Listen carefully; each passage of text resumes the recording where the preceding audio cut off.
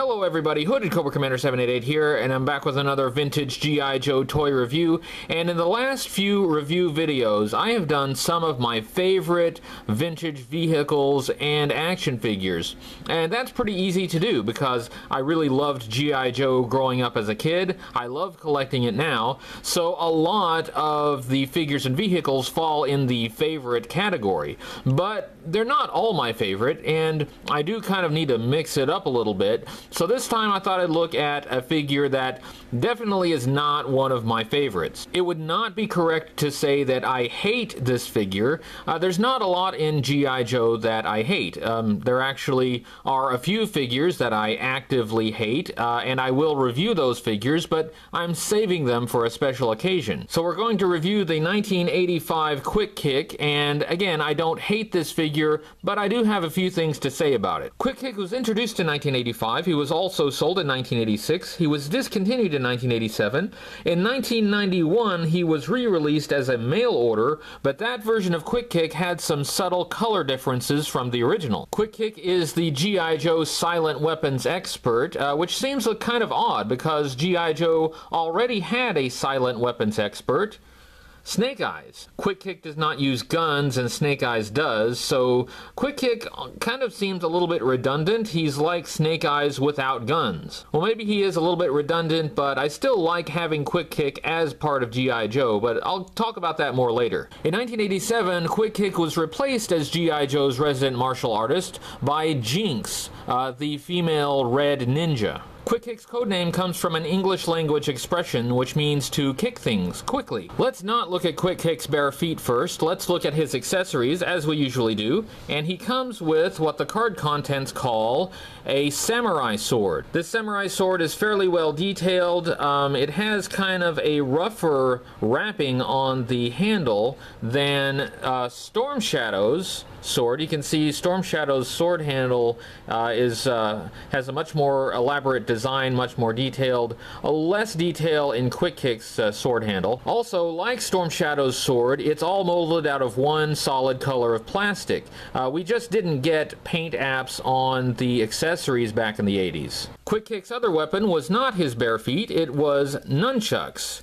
Uh, nunchucks molded out of the same color of silver plastic as his sword. Again, another fairly well detailed accessory. It looks pretty good. And Storm Shadow, again, also came with nunchucks. His was molded in black. Quick Kick's nunchucks are not just a silver remold of Storm Shadow's nunchucks, they are different. So far we're doing pretty good on accessories. Both of these accessories are appropriate for a silent weapons expert and martial artist. So let's look at his third accessory, not his bare feet, uh, his backpack, and this is the accessory that makes the least sense. The backpack itself, I suppose, is fine. It's fairly well detailed, and it provides a storage space for the sword. The sword slips right through there. You can see how it slides through the inside there on the back. Um, and so, I mean, if it were just on its own, there would be nothing wrong with this backpack. The problem with the backpack is how the hell does Quick Kick carry it? Um, it attaches to his back through the hole there, but he doesn't have any straps for it. He does have this red sash, and I suppose you might think the backpack connects to the red sash, but no way. The backpack only barely touches the edge of the red sash, and if that were really attached and he wore it that way, the backpack would kind of swing out and he, it would flop around. He wouldn't be able to quickly access his sword. So it looks like the backpack is just stapled to the skin on his back, which makes absolutely no sense. He has a backpack with no straps. Honestly, I don't think this character needs a backpack. It's nice to have a place to store the sword, but it just doesn't make sense with the design of the figure. Let's not take a look at Quick Kick's bare feet, let's take a look at his articulation. And he had the typical articulation of 1985 G.I. Joe action figures, most of which did not have bare feet, which means he can turn his head from left to right, but he can also look up and down. His neck was on a ball joint. He could move his arm at the shoulder up about so far, and he could swivel it it all the way around. Uh, he could bend at the elbow about 90 degrees, and he had a swivel at the bicep, so he could swivel his arm all the way around. The figure was held together with a rubber O-ring that looped around the inside, so he could move at the torso a little bit. He could move his legs apart about so far. He could move his legs at the hip about 90 degrees, and he could bend at the knee about 90 degrees. His bare feet are not articulated. Let's take a look at the sculpt, design, and bare feet of Quick Kick, starting with the head. Uh, his head, as you can see, has black hair.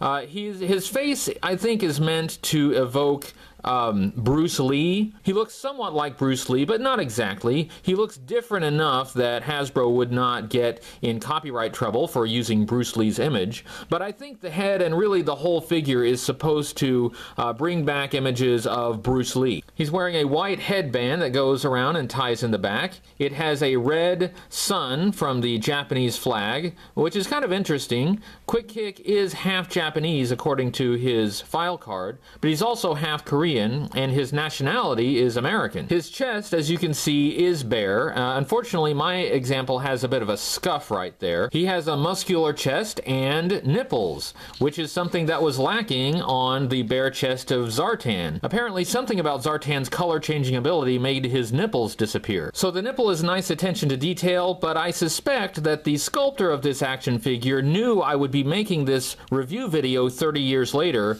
and put the nipple on there as a way way of tricking me into praising man nipples. Well played, Hasbro guy, well played. Quick Kick has a red sash that connects to his belt in the front and in the back. The sash is obviously some kind of cloth, and it has some pockets where he has shuriken or throwing stars. I always wondered if you stored your throwing stars this way and you had to bend over or kneel down or something, do you end up stabbing yourself with them? The waist piece has a gray belt with a buckle. It has some blue pockets on the side. Not a lot of detail uh, on the waist piece, but I think that's intentional. The legs are plain black trousers all the way around. There are no sculpted weapons on the trousers, and I think that's intentional too. I think uh, the black pants are meant to look like uh, karate pants. They're light, they're loose, and they're supposed to be comfortable for kicking and for unarmed fighting. And now we get to the bare feet. Quick Kick has bare feet. He's not wearing any shoes. While I suppose this might be appropriate for martial arts when you're practicing in the gym or something like that, but there is no way anyone would go into combat like this. Maybe Quick Kick thinks that by going barefoot he will be more silent, but Storm Shadow wears shoes and he doesn't seem to have any problem with that. I'm sorry, but no matter how you cut it, this is crazy. No matter how tough Quick Kick is, he could be taken down by a sharp rock or a broken piece of glass on the ground. And it's not about tough toughing out the pain either, because you're not going to tough out an infection on your foot. To make matters worse, the flesh tone is painted on black plastic on these feet, so you often run across uh, Quick Kick's feet that have some of the paint worn off. There's a little bit worn off here, and so it looks like he has black toes, and that looks really ugly. Okay, enough about Quick Kick's bare feet. Let's talk about his file card, which does not have any bare feet on it. The file card was printed on the back of the card on which the figure was packaged. On the other side of the card, you can see part of the front of the artwork on there. Oh, look, there's a barefoot. Quick Kick had two file cards. Originally, it was this peach color, but in 1986, they started issuing file cards with a gray background. The file card is the same uh, otherwise, but the background color is different. We have a nice portrait of Quick Kick here. It says his faction is G.I. Joe.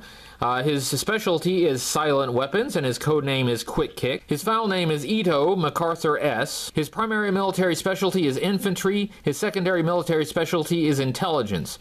Birthplace, Los Angeles, California, and grade is E6. This section says, subject's Japanese father and Korean mother owned a grocery store in Watts, not accepted by either the Japanese or Koreans because of his mixed ancestry and too short to play basketball, Quick Kick turned to martial arts all martial arts.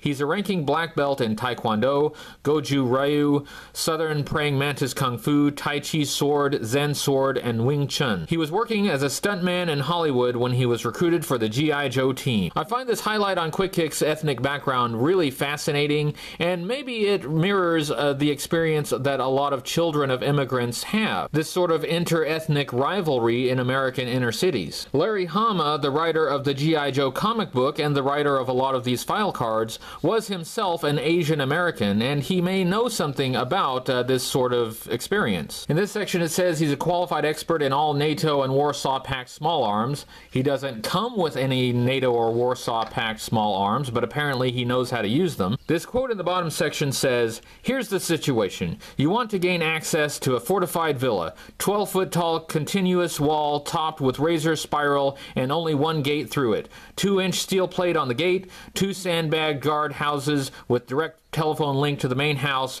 four guards with submachine guns, two Dobermans, and a silent alarm hooked to a dead man's switch that one of the guards is leaning on at all times. How do you do it? Have Quick Kick hit it, that's how. This file card is really well written. It gives the impression of a very interesting character. Uh, he's got a very fascinating uh, background. Uh, he sounds like a total badass. Uh, he's an expert at what he does, and he's, it seems like he can overcome any odds uh, with his martial arts ability, kind of like another member of the G.I. Joe team. And Quick Kick does all this without wearing any shoes. So what do I think of Quick Kick overall? First of all, he has no frickin' shoes, and that's really tough for me to get by.